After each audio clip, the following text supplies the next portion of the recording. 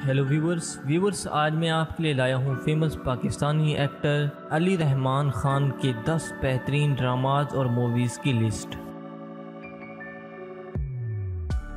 Number 10 हीर मांझा हीर मांझा 2019 की Pakistani romantic film थी, जिसमें अली रहमान खान ने कबीर मुस्तफ़ा का किरदार अदा किया।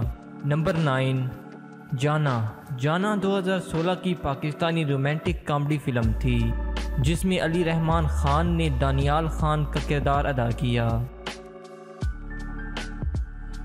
नंबर एट, रिश्ते कुछ अधूरे से। रिश्ते कुछ अधूरे से हम टीवी का 2013 का ड्रामा सीरियल था, जिसमें अली रहमान ने अरसल का रोल प्ले किया, जबकि इस ड्रामा सीरियल की कुल किस्तें 20 हैं।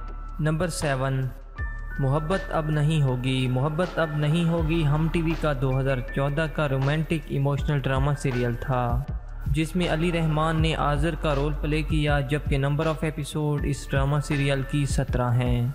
नंबर सिक्स, मैं ख्याल हूँ किसी और का। मैं ख्याल हूँ किसी और का। 2018 का हम टीवी का ड्रामा सीरियल था, जिसमें अली रहमान ने जरियाब सफदर का किरदार प्ले किया, जबकि कुल किस्तें इस ड्रामा सीरियल की तेईस हैं। नंबर फाइव, सफ़र तमाम हुआ। सफ़र तमाम हुआ 2021 का एक्शन क्राइम ड्रामा सीरियल था, जिसे हम टीवी ने टेलीकास्ट किया। इस ड्रामा सीरियल में अली रहमान ने समी का रोल प्ले किया, जबकि नंबर ऑफ़ एपिसोड इस ड्रामा सीरियल की 21 हैं। नंबर फोर, बेवफा। बेवफा 2019 का पाकिस्तानी रोमांटिक ड्रामा सीरियल था, जिसमें अली रहमान ने एहसान का किरदार प्ले किया। जबकि कुल किस्तें इस ड्रामा सीरियल की 26 हैं।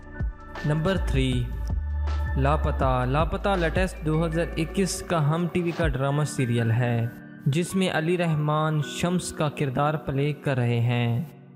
नंबर टू, ख़ास। ख़ास हम टीवी का 2019 का फ़ेमस रोमांटिक ड्रामा सीरियल था, जिसमें अली रहमान खान ने अमार सऊद का रोल प्ले किया। जबकि नंबर ऑफ़ एपिसोड इस ड्रामा सीरियल की सताईस हैं। नंबर वन, दियारे दिल। दियारे दिल 2015 का हम टीवी का super hit high rated romantic drama serial था, जिसमें अली रहमान खान ने सुहेब बख्तियार खान का रोल प्ले किया, जबकि नंबर ऑफ़ एपिसोड इस ड्रामा सीरियल की 33 हैं।